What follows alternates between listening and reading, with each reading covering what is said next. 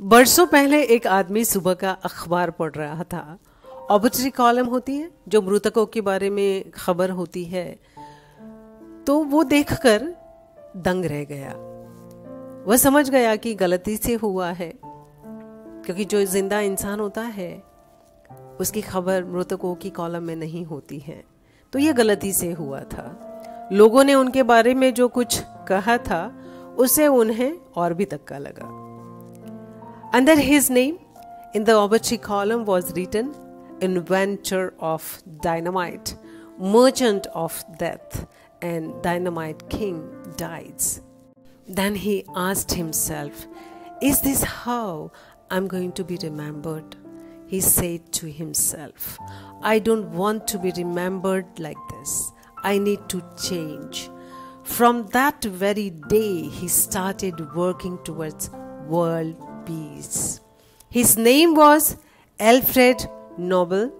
He is remembered today by the Nobel Prize, the greatest of all prizes. The foundations for the prize were laid in 1895 when Alfred Nobel wrote his last will, leaving much of his wealth to the establishment of the Nobel Prize.